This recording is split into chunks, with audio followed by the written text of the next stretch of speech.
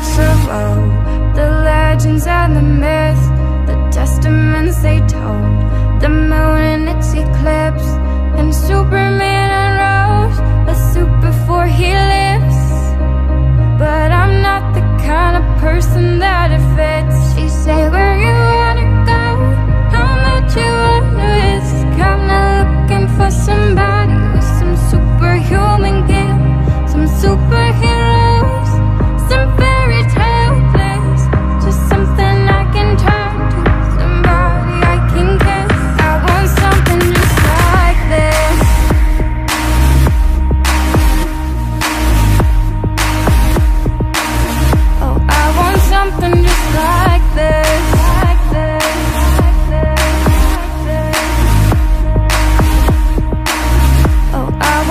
something just like